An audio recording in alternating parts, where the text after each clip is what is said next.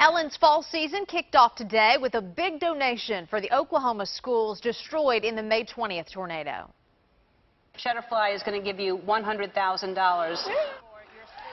There you have it there, Ellen and her sponsors surprising the principals and students of Plaza Towers and Briarwood Elementaries with $100,000 each. She also gave away TVs to her entire audience, and I watched it all from Ellen's studio in Burbank, California.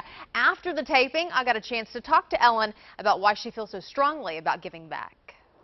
I think the teachers are amazing, and I meant it when I said they're heroes. What inspired you to take your show in that direction? Because that's a big part of what you do. It's not just Moore, but it's all of the other people and places that you've helped as well. The more you um, become famous, the more you realize that there's got to be more to it than just being famous because that doesn't fill you up. It fills you up to, to be able to help other people.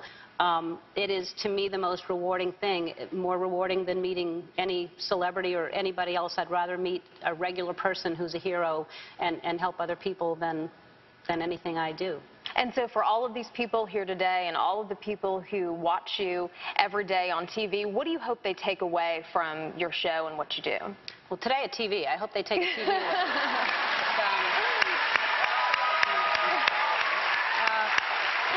That's awesome. Um, and I hope people laugh, and that's what I want people to do. I want people to feel good, and I want people to be filled with joy, but more than anything, I want people to learn to be kind to one another.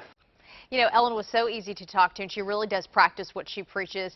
Also, you can see a slideshow of my pictures from behind the scenes of The Ellen Show. Just look online at KOCO.com. And, Paul, I went to the Ellen shop to find you a gift, but it was closed. oh, so, oh well, sorry, I didn't bring okay. anything back. But you know, the teachers there, the principals, Yeah. they brought back two big gifts. Those, Two big checks, for those students. And there Yeah. was a live feed, so the students got to see everything that was going on. They were just as surprised, too. So it's going to do great things for That- those uh, schools. It's just awesome. Yeah.